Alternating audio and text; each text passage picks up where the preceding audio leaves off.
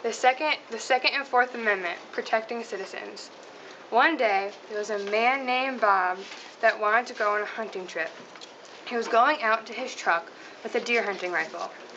Meanwhile, a soccer mom was having her coffee and saw him with his rifle and didn't feel safe. So she called the police.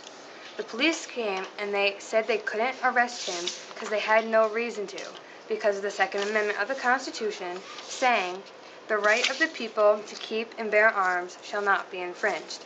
And they didn't have a search warrant to search his house or his car, so they left him alone. The police would only be able to search a person if they had evidence that they committed a crime.